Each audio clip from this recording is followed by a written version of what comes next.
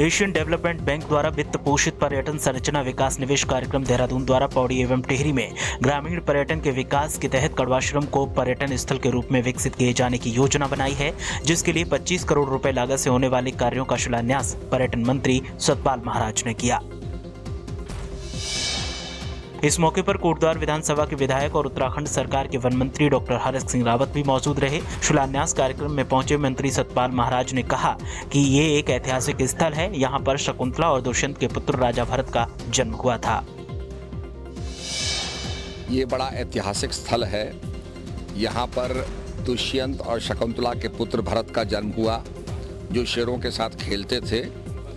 To play with the lion cups और ये बहुत बड़ा एक अपने आप में राष्ट्र तीर्थ के रूप में डेवलप होने जा रहा है। यहाँ पर इसका अभी शुरुआत होगी, शिलान्यास होगा। हमने पैसा सैंक्शन कर दिया है और पूरी एक बृहत योजना बनाई है कि यहाँ पर वैदिक विलेज बने। आप ऋषियों के अंदर जो ऋषि पद्धति थी, उसके अंदर आप यहाँ शयन कर सकें, रह सकें, ऋषियों का भोजन खा सकें। वो पूरी एक आपको अभी हम प्रेजेंटेशन देंगे, आप उस चीज़ को देखेंगे कि जो हम यहाँ करने जा रहे हैं।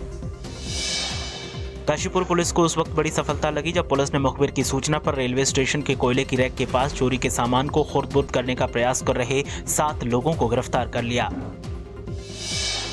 पिछले तीन चार माह में थाना आईटीआई और काशीपुर क्षेत्र में लगातार चोरियाँ हुई। इन चोरियों के अनावरण के लिए थाना आईटीआई पर एक चौदह से सदस्यीय टीम बनाई गई, जिसका निरीक्षण सीओ काशीपुर कर रहे थे।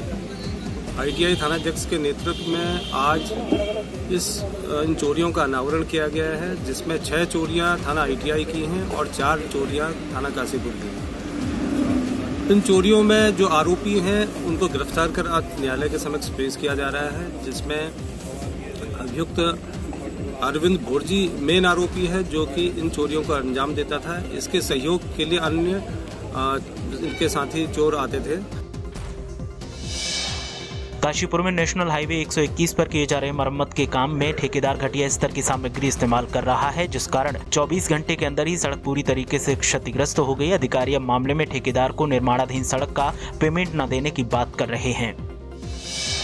अभी हमने ट्रायल के लिए काम शुरू किया था। इसमें थोड़ा टेम्परेचर डाउन होने की वजह से नहीं रुक पा रहा है।